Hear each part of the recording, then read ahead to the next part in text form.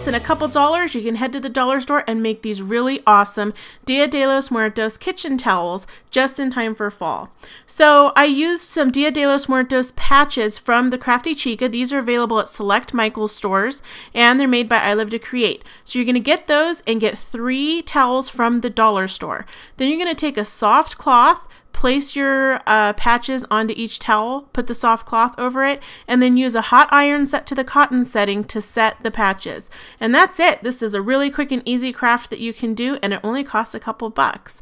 I hope that you really enjoyed this project, and check out our latest video over there on the little video screen. You can see that I made a scrapbook page with Bloom Girls. Also hit that subscribe button and visit our website for more crafty goodness. Leave us a comment in the comment section and let us know what you think about this craft. Thanks. Bye.